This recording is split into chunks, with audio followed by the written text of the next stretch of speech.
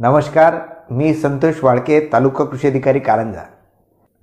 मित्र बळीराजाचे या मालिकेअंतर्गत यापूर्वी आपण ग्राउंड बिटल आणि पेंटॅडोमिड बग या मित्राविषयी माहिती पाहिली. आणि आपण ती पाहत आहात आणि आपल्याला त्या माहितीचा फायदा होत आहे हे आपण देत असलेल्या प्रतिक्रियेवरून मला कळतं. त्याबद्दल आपले मनपूर्वक धन्यवाद. आज आपण आकाराने खूप लहान परंतु आपल्यापेक्षा हायली सोशलाइज आणि तंत्रज्ञानाने शेकडो वर्ष समोर असणाऱ्या अशा एका मित्राची माहिती घेणार आहोत.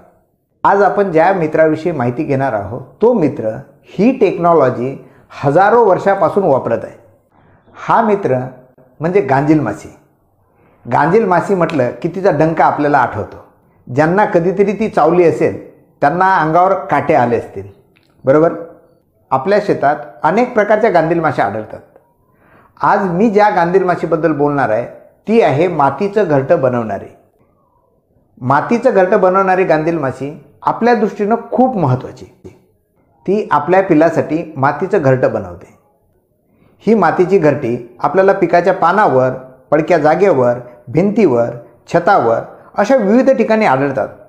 त्यासाठी मातीचा एक एक कण गोळा करते. आपल्या लाळेचा सिमेंटसारखा वापर करून घर बनवते.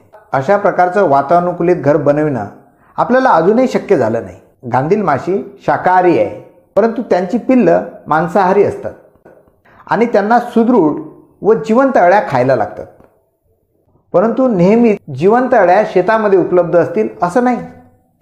त्यामुळे ही गांधील माशी आपल्या पिकावर आलेल्या एकसारख्या आकाराच्या सुदृढ अळ्या उचलून आपल्या घरट्यामध्ये घेऊन जाते. परंतु त्या अळ्या न खाता पिता जिवंत व ताज्या राव्या यासाठी विशिष्ट प्रकारचं रसायन तिच्या डंकाद्वारे ती अळ्यामध्ये सोडते. आणि त्यामुळे तिच्या पिलांची पूर्ण वाढ होईपर्यंत त्यांना ताज्या व जिवंत अळ्या खायला मिळतात. वाटतं ना काल्पनिक?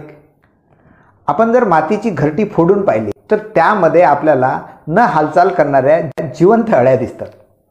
गांधील मासी एका घरट्यामध्ये जवळपास चार ते पाच वेगवेगळ्या वातानुकूलित मातीच्या रूम तयार करते. म्हणजे चार ते पाच कंपार्टमेंट तयार करते. प्रत्येक कंपार्टमेंटमध्ये एक एक अंड देते व अंड्यातून निघालेल्या तिच्या एकेका पिलाला खाण्यासाठी दोन ते पाच एकसारख्या आकाराच्या जिवंत अळ्या आपल्या शेतातून गोळा करून आणते. एक गांधील माशी तिच्या जीवन कालावधीत चार ते पाच घरटं बनवते. अशा प्रकारे आपल्या शेतातील ऐंशी ते नव्वद अळ्यांना एक मातीचं घरटं बनवणारी गांधील माशी नष्ट करते.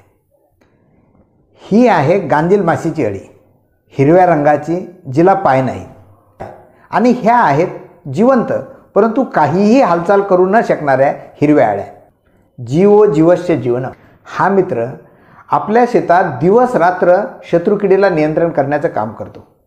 परंतु आपण त्याचं महत्त्व न समजून घेता शत्रुकिडीच्या नियंत्रणासाठी जवळपास चाळीस टक्के खर्च हा कीडनाशकावर करतो. बरं एवढं करूनही किडींचा त्रास वाढतच आहे. ज्या शेतात कीडनाशक मारलं त्या शेतात ह्या गांधील माशा फारशा फिरकत नाही.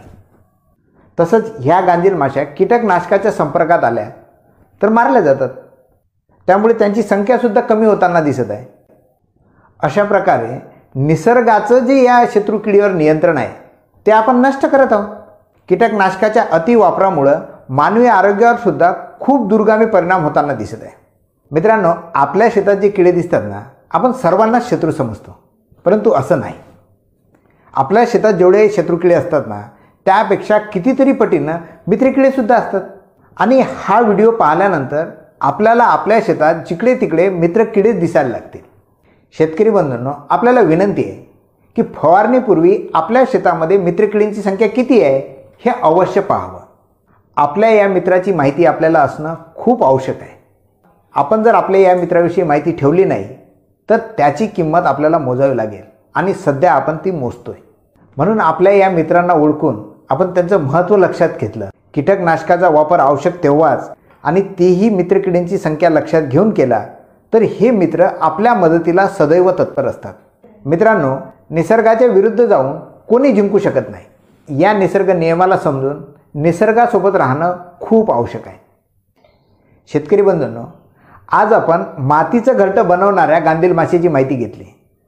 ही माहिती आपल्याला आवडली असेल तर जास्तीत जास्त शेतकऱ्यापर्यंत पोहोचण्यासाठी तर जरूर जरूर शेअर करा. पुन्हा भेटू एका नवीन मित्राच्या माहितीसह. धन्यवाद.